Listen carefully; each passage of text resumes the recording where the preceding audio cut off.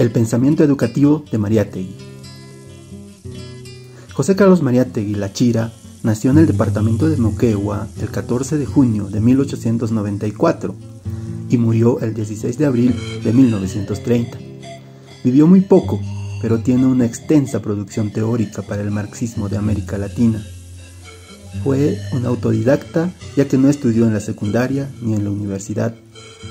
De su vasta producción destacan sobre educación sus siete ensayos de interpretación de la realidad peruana y su obra póstuma Temas de Educación. El proceso de la instrucción pública es su cuarto ensayo de los siete ensayos de interpretación de la realidad peruana. Mariátegui analiza el desarrollo de la instrucción o educación pública, que para él estaba estrechamente ligado a lo económico-social. Menciona que la educación está influenciada por la herencia española, la influencia francesa y la influencia norteamericana. En cuanto a la herencia española, nos dice que se heredó un sentido aristocrático y un concepto eclesiástico y literario de la enseñanza. Además, se tenía una idea de cultura como privilegio de casta y fue una herencia económica y social. En cuanto a la influencia francesa, nos dice que vendría a acentuar y complicar el concepto literario y retórico. Estaba cerrada al progreso y complicó el modo de la enseñanza transmitido por la influencia española. De la influencia norteamericana se tomó el predominio de las profesiones liberales, se olvidó de la existencia del factor indígena, lo que hacía que producía hombres prácticos, industriosos y enérgicos. En su obra póstuma, Temas de Educación, la que podemos dividir en ocho tópicos, en el tópico 1, Educación laica, eh, posee un carácter demoliberal burgués, como producto del liberalismo y del capitalismo, no forma en un espíritu revolucionario y denuncia el carácter nivelador y mediocre de la educación burguesa. En el tópico 2, la libertad de la enseñanza, la educación y la escuela está subordinada al Estado y este a los intereses de la clase dominante. En el tópico 3, Educación y Economía, el problema de la educación debe ser entendido como un problema económico y social por su influencia del industrialismo, por lo que la educación debe ser práctica y realista. En el tópico 4, la enseñanza única y de clase denuncia la educación burguesa porque favorece a la gente adinerada y margina a los pobres, por lo que sostiene el fomento de la igualdad de oportunidades y todos tienen el mismo derecho de ser libres e iguales. En el tópico 5, Nuevas Corrientes y la Escuela, sostiene una admiración profunda sobre la labor de Anatoly Lunacharsky y el método y la doctrina de Pestalozzi y Frebel.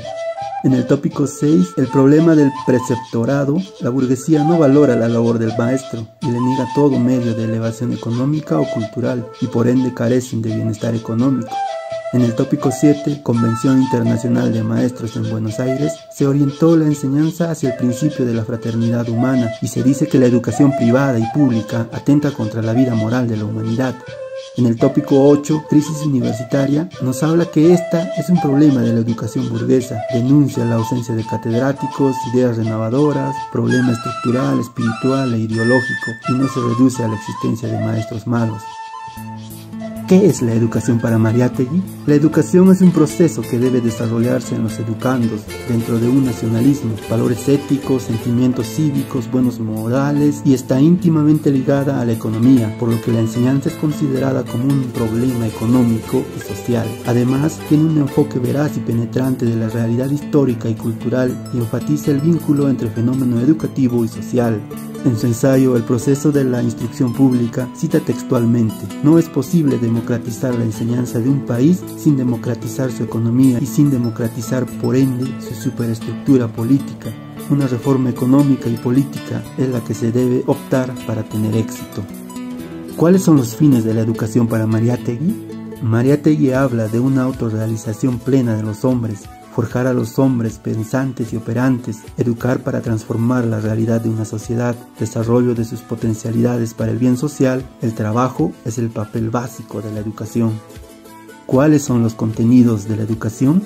Para Mariátegui, la educación no tiene espíritu nacional, sino uno colonial y colonizante. Los contenidos tienen la influencia española, francesa y norteamericana. La educación en la colonia y en la república tienen un carácter elitista y escolástico, y la educación respondía a intereses de la burguesía dominante, mas no al pueblo.